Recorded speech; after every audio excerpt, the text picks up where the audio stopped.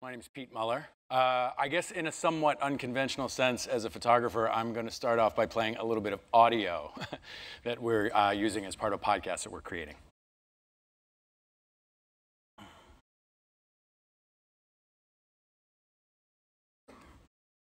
Its newest comprehensive report on climate change and its effects was released yesterday. The news is grim. A giant new government report says climate change is already hurting communities in the U.S. The fifth largest fire in California state history. Glaciers now melt at an historic pace. global emergency. If we do not take action quickly, results of it's climate essential change. threat to human civilization on this planet as we know it.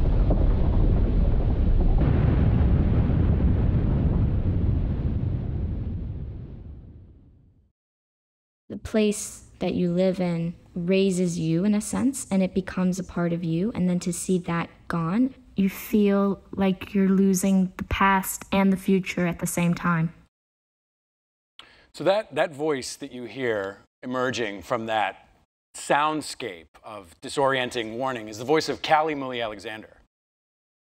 Callie uh, was one of my students at Mount Holyoke College in Western Massachusetts this last semester. She's 20 years old. She's from a place called Doddridge County, West Virginia, which is a place that's experienced considerable environmental transformation in recent years owing to natural gas exploration.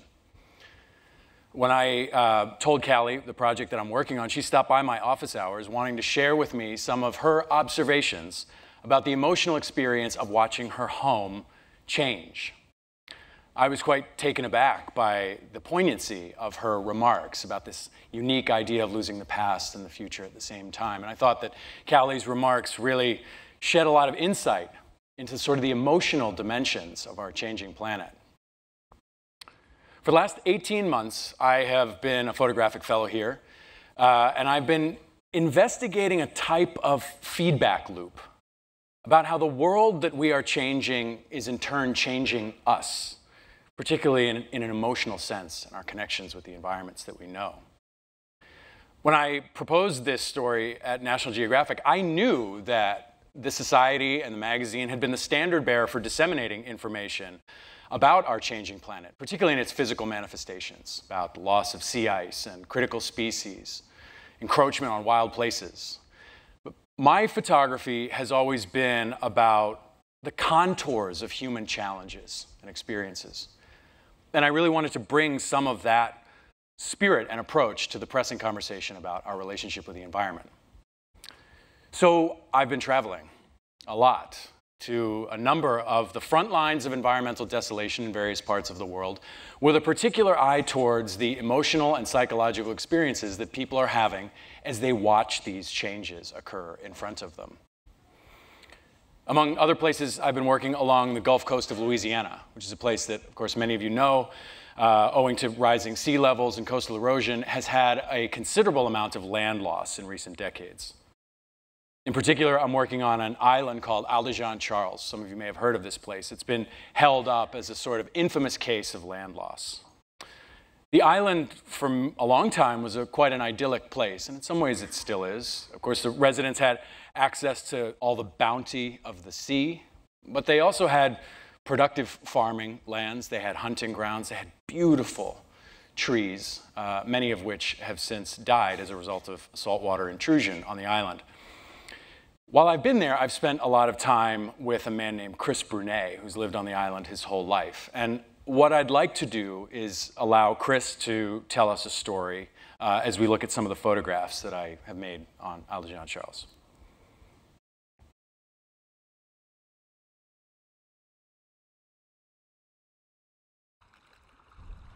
Things began to change whenever the land began to change.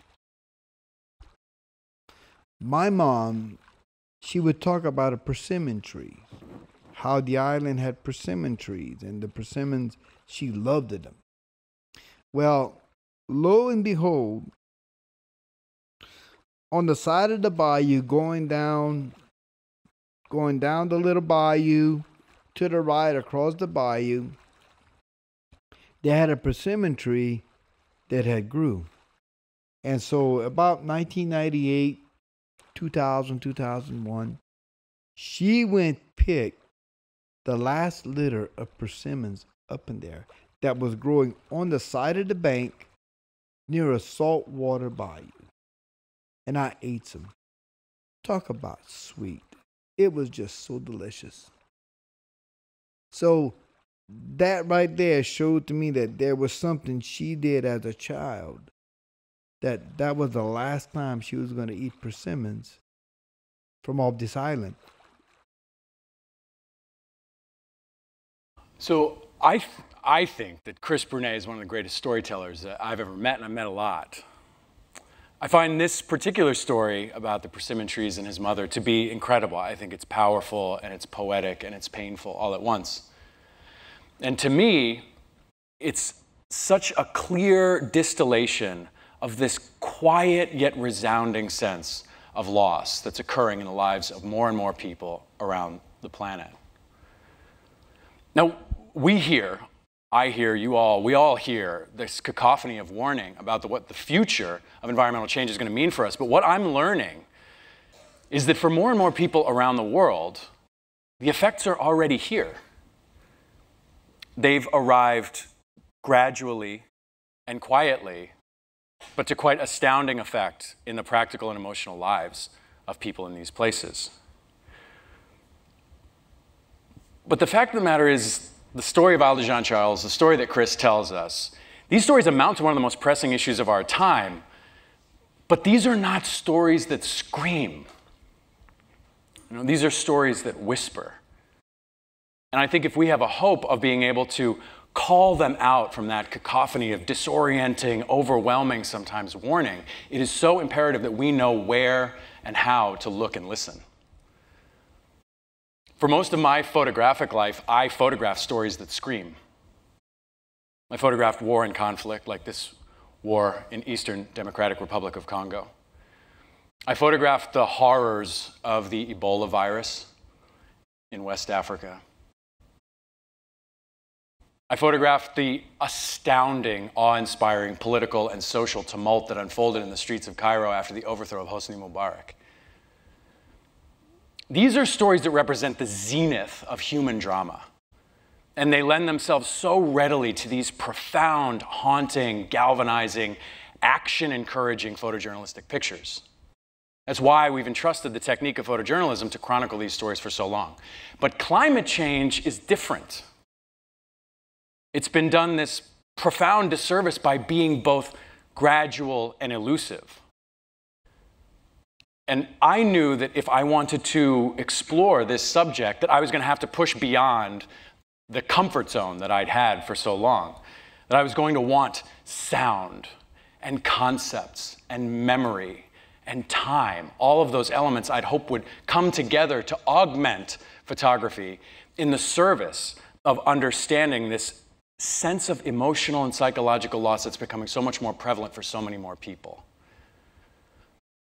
I really hope that we can use this story, the many stories that I've been working on on my fellowship, and the stories that so many of you are telling in this room, and harness this incredible, influential, trusted platform that we have at National Geographic to, hope, to hopefully encourage the mental metabolic transformation that we need to undergo in order to successfully confront these issues.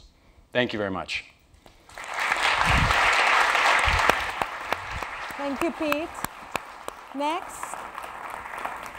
Thank you, Pete. Next, it's turn to hear National Geographic Fellow Xaquín Gibi.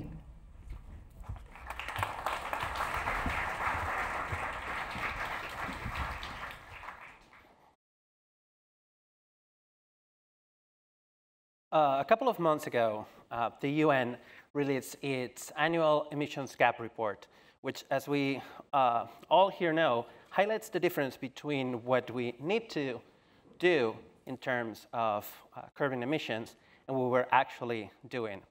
And I worked with them to summarize the report in this interactive and visual feature. Uh, one of the key points of the report was how to uh, keep global warming below 2 degrees. We needed to uh, keep greenhouse gas emissions uh, below a certain level, and they had to peak by 2020 and decrease rapidly afterwards. So that was not going to happen in just one, in just one, one chart.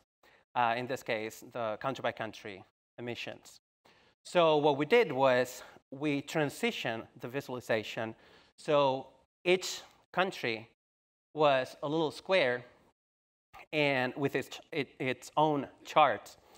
And this way you could actually uh, arrange in a, in a sort of uh, world map. This way you could actually see uh, the regional patterns and you could actually see which countries had uh, peaked already. But obviously not everyone has the same responsibility. So what, what did we do? We transitioned the chart again.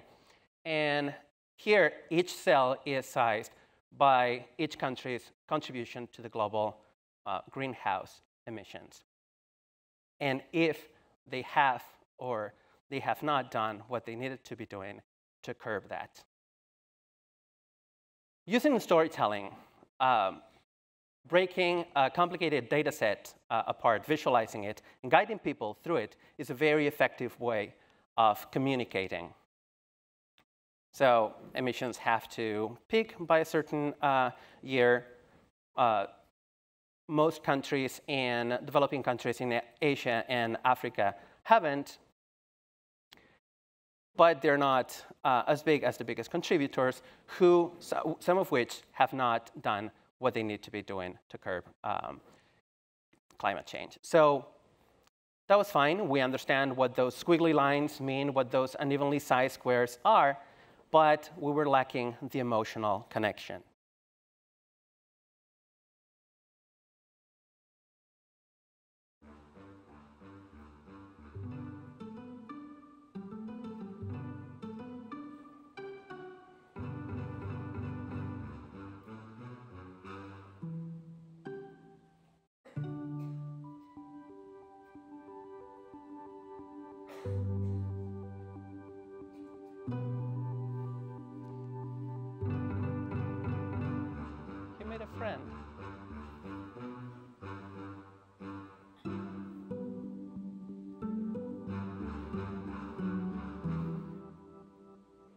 You care about this little green dot because your brain is wired to see this sequence as a narrative. You can read protagonists and antagonists in, in this.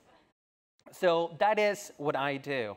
I work to make data tangible and relatable using text and using visuals and using uh, uh, metaphors and using interaction. Uh, my ultimate goal is to present data in terms audiences can feel. Um, last July, the world celebrated World Environment Day around the issue of beating plastic pollution. And I work with the UN to, to create this interactive and, and visual feature around it. As the opener, we show the geometric growth of plastic waste at this, uh, as this uh, visual of raining trash. We transformed the data in this small red chart um, here in something more tangible, uh, into this rate of raining chart that was changing uh, based on the, on the data for that decade. And as I was working on this, my four-year-old son walked into the room and said, Daddy, why is it raining more and more trash? And so even though he doesn't read, he doesn't have the tools to read, and he didn't have the context, so he couldn't have the full picture, he could, he could read what was happening uh, here. we respond much more immediately to data if it's presented in these raw terms. And then we can be guided through the nuance and through uh, the details. But data becomes more memorable uh, this way. Because it's not about the data, it's not about the abstraction, it's not about uh, the numbers. It's about who is behind that or who is affected by that. Uh, by the way, another uh, little uh, uh anecdote with my four-year-old. As I was working on this uh, presentation uh, last week, he uh, he walks in, and I ask him, uh, Roy, so what is it more important, this or this? And he said, obviously this. And when I asked him why, he said, well, because it's people. He can't read.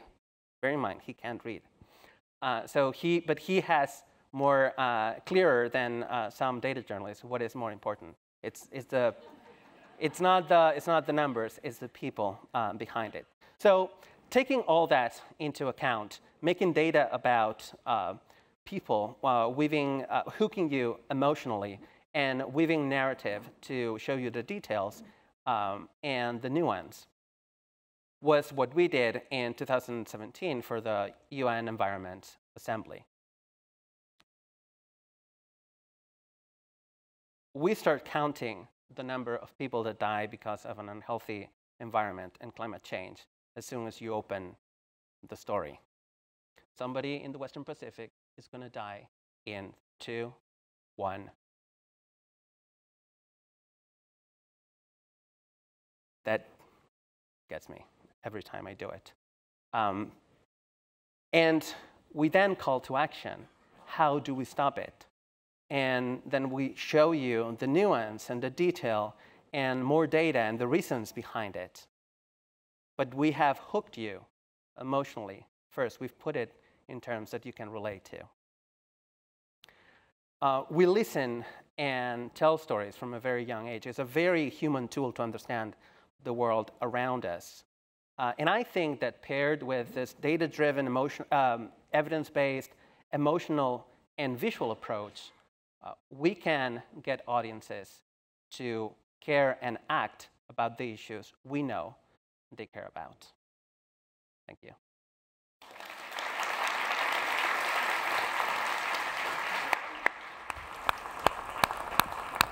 Gracias, Xaquín. Our last panelist presenting is National Geographic grantee Arati Kumar Rao.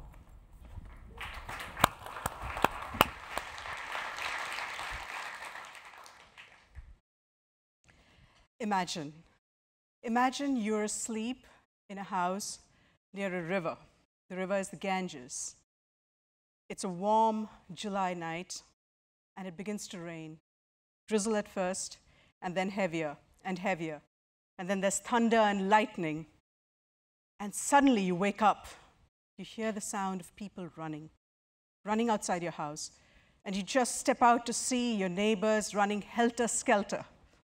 Some have got kids in their arms, some have picked up everything that they could gather. One man has a television on his head, and they're all running. You run too. You run and run until you're soaked to the skin, and then you stop. The next morning reveals this the Ganges has taken half your neighborhood again for the 17th time. And this time, the Ganges is at your doorstep. Why? Why would a river gulp kilometers of paddy fields and turn it into this? Why?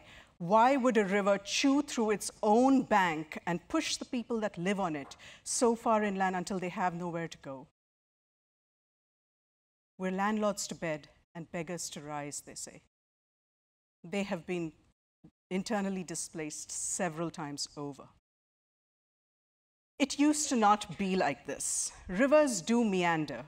In their floodplains, all rivers meander, and there's some amount of erosion that all of these people know to live with. But something changed.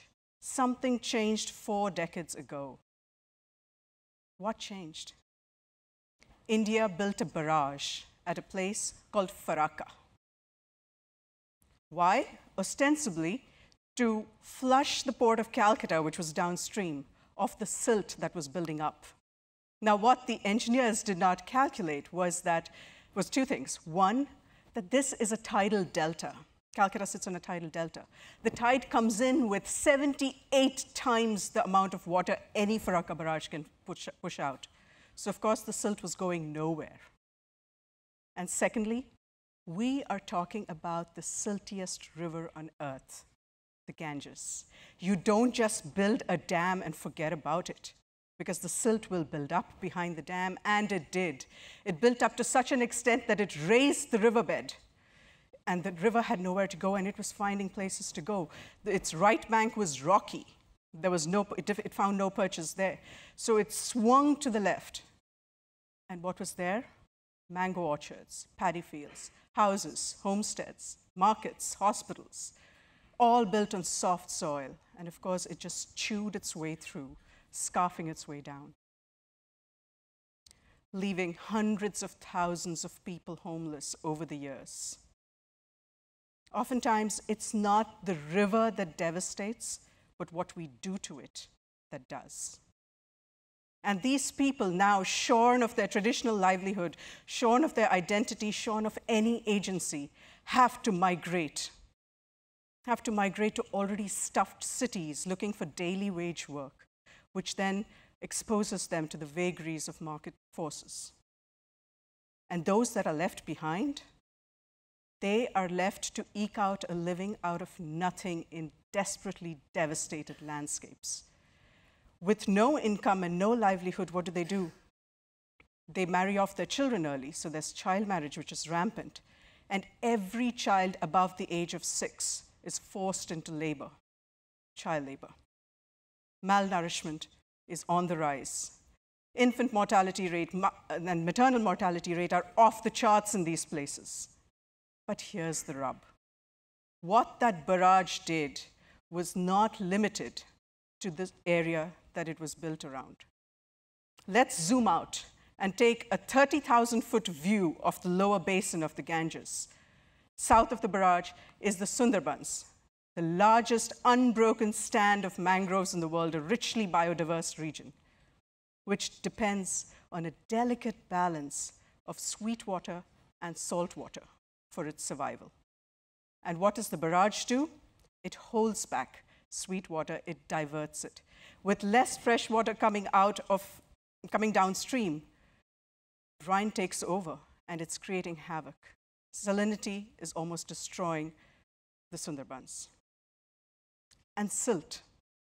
What happens when you hold back silt in an active delta? The delta is built with silt. It requires that silt to fortify itself against rising sea levels and increasing storm surges that are coming. You hold back silt and you undermine the resilience of this delta. And you threaten millions of people that live on it. And then there's the fish. There used to be, there, there still is, an anadromous fish that swims upstream to, swan, to spawn, but it can't reach its spawn grounds anymore.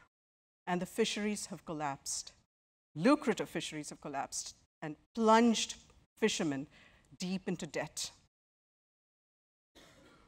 This is the most populated river basin in the world, and generation after generation of children are growing up sans any education, any hospitals, no healthcare, no prospects, no livelihood.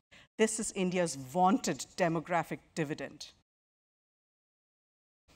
As chroniclers, we have an immense responsibility and indeed an opportunity to understand the land and to smash those silos of narrow departmental thinking that actually led to something like a Farakka, which should never be repeated. Stories have the power they have the power to illuminate interconnected dependencies in a biogeographic region that goes beyond political boundaries. And they can push for policies that may never, ever compromise the resilience of a land and its denizens, both human and no non human, no matter what nature throws at them. Thank you.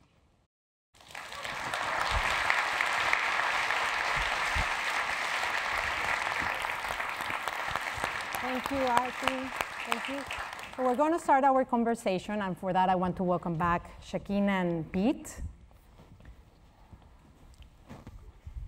So, thank you all for those amazing presentations. So we're talking about exposing the boundaries of climate change. And all of you have different techniques. You're tackling the story from different angles. But I feel you all have in common that you want to cut the noise, really connect people with a story, and trigger some action. So my first big question to all of you is, one day you wake in the morning and say, I'm going to work on climate change, one of the most abstract and difficult issues. So what, how, how did you, were motivated? Were you hesitant about doing this? What, what really motivates you to work on this topic? Me? We can start with you, Pete. uh, I was terrified. I think it's, yeah, I, I think the incremental uh, aspect of climate change and environmental degradation issues is profound in terms of trying to distill this. You know, mm -hmm. things happen so gradually, and you have this issue of like shifting baseline, people are, are, are gradually getting more and more used to their surroundings. So for me as a photographer, photograph, you know, particularly photojournalistic pictures hinge on action. Mm -hmm. So it was a tremendous challenge to start thinking about how I could be fleshing out the dimensions, not only of something that was that incremental, mm -hmm. but particularly because of these abstract notions, increasingly abstract notions that I was interested in about these emotional dimensions of people's mm -hmm. inner feelings about what's happening outside them. So I took an integrated approach where I'm making a podcast and bringing those stories back so that there can be that sort of complementary uh, interaction. What about you, Xaquín? Uh, well, I mean, it's simply the most important story of our generation. Mm -hmm. uh, so when I was working at the at the Guardian, we we were um, we were running this campaign of uh, keep it in the ground because um, uh, our our boss Alan Rusbridger thought that we were failing as journalists to communicate that uh, the urgency of climate change, and the way, the, way, um, the way I see it, our contribution as uh, data visualizers is that there's so much, there's such a wealth of data, and there is mm -hmm. such a lack of understanding of how urgent this is and how important it is for us to act now. That uh, presenting this evidence in a, in a way that people can connect, that people can have uh, an emotional reaction, and hopefully uh, trigger them to, to act and to make better decisions when they have to go to the polls or when they have to um, make decisions in their every, uh, everyday uh, life. I thought it was um, very important and very um, necessary. Absolutely. Yurati? Um, I have been following uh, the lives of landscapes, and uh, what I was noticing is that the changes that we are bringing about in the landscapes was undermining resilience and, um, and increasing the vulnerability of people. Mm -hmm. And I realized that imminent as it is, um, climate change is something that's going to sit as a layer above mm -hmm. the inequities on the ground. And so for me, I felt the more proximal causes of what's happening on the ground and how people are being affected was really important to highlight. Because yes, climate change is coming, but it's going to be what's happening here on the ground right now, and it's, it's, that matters. Mm-hmm. So that was my motivation. Yeah, absolutely. So we were backstage, and I was talking to Pete about this concept that he often uses about mental metabolism, and which I find fascinating. Uh, could you talk a little bit more about how this concept is related to this work you're doing with climate change? So uh, I'm doing an array of things to try to cover this. I'm, I'm making these uh, journeys to, to various places along the front lines of, of change, but I'm also working with a number of experts. Mm -hmm. uh, one of whom is a, a, really interesting woman named Lisa Feldman Barrett, who's one of the leading experts, neuroscientific experts, on how our brains construct emotion. And that's a, sort of a complicated uh, uh, field. And Lisa loves to bake. Um, so she makes these really helpful baking analogies where she talks about how you know, a lot of what she discusses is about notions of social reality and concepts in our minds. So she talks about muffins and, cu and cupcakes and how essentially a muffin and a cupcake are in essence the same thing. But we have a profound, culturally specific notion of social reality that if you had a cupcake for breakfast, it would be kind of like a, an insane thing to do if everything was okay in your life. But we would classify a muffin, maybe not in 2018, but as like part of a sort of healthy breakfast. um, but what Lisa says is that interestingly, on the basis of that social reality, that, psycho, that neurological distinction that we make, there's actually a physiological reaction, a difference in the way that we metabolize those two items, which got me thinking that if we, you know, we have all of this ambient emotional connection to issues of environmental change yeah. that has not been clearly defined in any way. And more and more of the people that I'm talking to are mm-hmm. helping to me to define, I'm working with a scholar who's thinking about defining things and giving names to things. And I got to wondering that if this principle that Lisa describes about this mm-hmm. difference in metabolic process on the basis of this social, this social reality between these things. If that could happen with our understanding, if we could trace out something more clear out of this ambient noise around our feelings of climate change, could that change our mental metabolism in the way that we process and turn that information into mm-hmm. solutions and action outside of ourselves? Fascinating. I was reading one of your articles and you use also, as Pete has his own concept, you use a concept that you call slow violence. And you talk about this slow violence that is being inflicted in communities, not only by climate change, but also by environmental degradation. Can you talk us a little bit more about this slow violence? Sure. Uh, slow violence is a term that was coined by Rob Nixon, and uh, it basically is the is like the antithesis of a war. A war, you know, it, it, creates headlines. It's spectacular, and then you know there's gore and blood and all of that. A slow violence is um, is different. It's, it's accretive. It's cumulative over years. It takes, a, it takes, it's like a slow burn. It unfolds over generations. It unfolds over space and time. So for example, um, it, in, the, in, in the case that I just showed, the dam, it was constructed in 1971, and you didn't begin to see the effects mm -hmm. of mm-hmm. it for almost 10, 15 years after that. And now, 47 years after that, you're still seeing effects of it. So that is, is a perfect example of slow violence. It's basically killing one day at a time, you know, slowly, really slowly. Super strong concept. One question that I have for you, that we were also talking about it early in the morning, is uh, I was reading another article that said that understanding the tipping point it's really important in order for us to understand what is at stake with climate change and that we don't cross those tipping points because otherwise it is a mess. But every time I think about tipping points, I think about numbers, lines, charts, graphs, things that for me is extremely hard to understand. So what do you think about using those tipping points and how do you translate those tipping points in, in visual data that people can understand? I think, I think uh, the, the beauty of, um, of data visualization uh, is that we can actually draw those uh, tipping points. Yeah. You, uh, unlike, uh, we have a, um, we're lucky compared to, to photographers um, who, who, can, who are taking what it's there in in the world, we can we can show what's the future that's coming and how that mm-hmm. future mm-hmm. um, like would could look like. We have we have a freedom to to visualize things that that I'm sorry you guys don't. uh, but but the, th- the thing is we can because we can actually draw those uh, those tipping points. We've been dr- drawing them without framing them mm-hmm. in what we were talking about uh, earlier, that, that sense of urgency. If we cross this tipping point, mm-hmm. we're screwed, yeah. uh, for lack of a better word.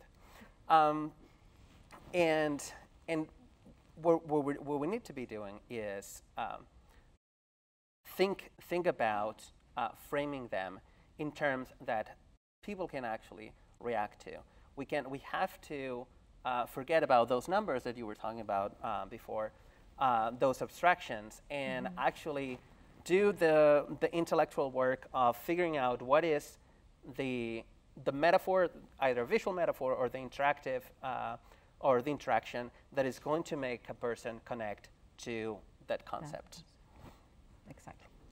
So for the sake of all of the audience, because I see a full room, I'm going to open because I can go like this, non-stop service, asking questions. So I'm sure that there are many questions in the room. So I think we have mics. Yes, we have mics. So questions in the room for our panel? None? Ah, I see one there.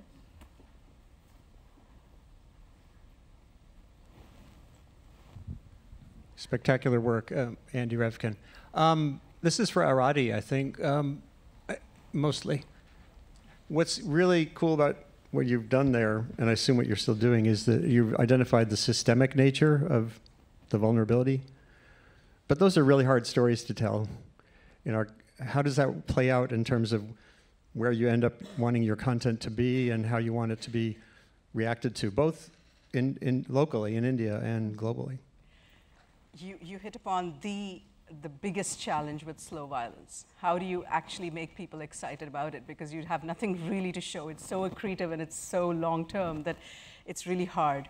Um, I don't know the answer to that. Um, we are, I've just begun this kind of work, and um, so this is something that we have to probably attack from various prongs. And, um, and I do believe that um, using art, theater, and reaching policymakers in any way possible that actually speaks their language uh, will needs to happen. It really needs to happen because as you correctly said, it's systemic. I just showed you one instance. If I were to map on India, just India alone, the places that this was happening, you'd be astounded. Mm. And um, it, it, you just have to plug at it because unfortunately, there are none so blind as those who refuse to see. Mm -hmm. And you just have to keep at it. Any other question? Nobody? Ah, I see one hand over there.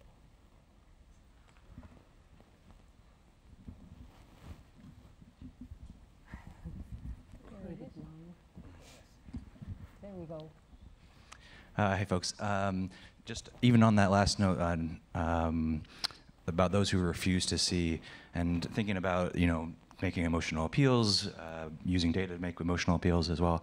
I'm curious uh, how you think we can best have the conversation with folks who their emotions uh, are in the opposite direction, or they they really do have a legitimate self-interest to oppose uh, work to combat climate change, whether it's their own financial interests uh, because of their jobs, their uh, or or whatever else. how do we have those conversations?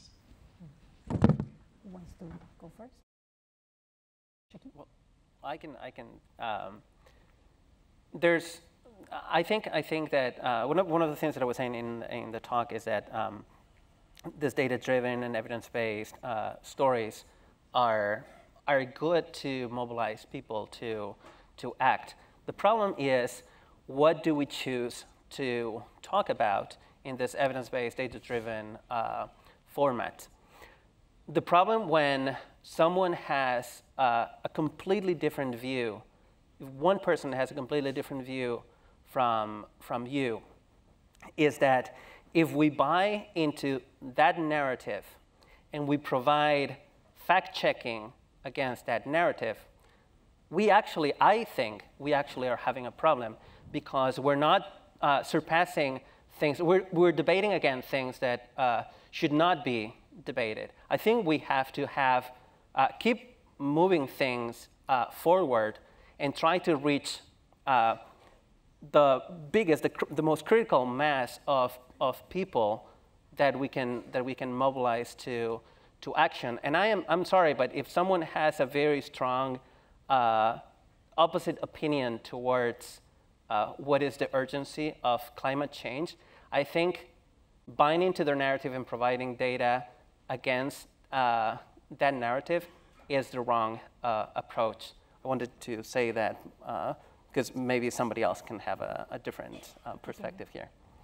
Something to add, I, I, have had uh, what I think have been some interesting experiences uh, both in the United States and Australia and the components that I've, uh, two of the components that I've done for this project where the people uh, living in the place of that particular form of environmental desolation are people who would regard themselves. I had one guy in Australia tell me, I would have placed myself somewhere right of Attila the Hun. Uh, in my former life before this major transformation of the environment that I've witnessed over the last 20 years. And that has really enlightened a, at least a side of me that prior to ex this experience, I may have aligned myself against it but this has brought it home to me in a way that's really pushed me into becoming, you know, this guy's a very avowed environmental activist, not only on his cause, but on an array of others. And I, what I hope to impart a little bit is taking some of those voices of people who've had that sort of transformation on the basis of their experience and share that with others. Uh, so that we can see how this sort of cuts across. I mean, you say what you want, but when it really comes to roost, uh, people tend to change their tune. Great. Know we have one more question, but now we're running out of time. So we'll take a quick last question. There's one here and one back there. So. Hi, I'm, I'm just wondering how you uh, raise the alarm without becoming alarmist and sort of keep a semblance of hope mm. in some of these stories because I, you know, it's easy to get totally depressed and uneng- unengaged on the other side about some mm. of these things. Pete, Artie, you want? Artie, um, so yes, absolutely, and uh, in fact, um, I often joke with my friends that I never have any good news for them when I come back from field. but um, but truly, um, there there is hope. Um, it's it's it's to do with listening to the land. I really keep coming back to the land because that really is the way to way forward. Um, and uh, interestingly, in India, and I'm speaking only for India, um, there are there are enough people now, or there are, there seem to be more and more people who are uh, realizing that. And why? Because it's now coming home to roost. Uh, the, the city I live in, Bangalore, it's it's suffering, it's hurting. And the people there um, are, are, beginning to realize now that yes, we have to listen to the land. You can't be sitting on a rock which is in an arid area and then you know have a booming population and swimming pools and you know just take all the water that you need. So um, it really comes down to that and. Um, when people begin to realize that, even if it's one person or two people, and I talk a lot to young students, and I see, I see that they get it, um, there's hope in that. And that, that's the only way to keep going, really. So I, thank you. I want to thank you for, for showing us your work, for doing this amazing work in such a difficult but really important topic. And I want to ask for an applause of the audience to say goodbye to our, thank you.